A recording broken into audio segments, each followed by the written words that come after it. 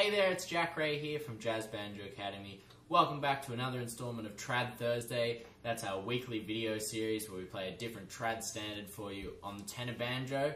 And uh, this week we've got a very special one. It's a Banjo Hangouts uh, tune of the month, which this month is Cabaret.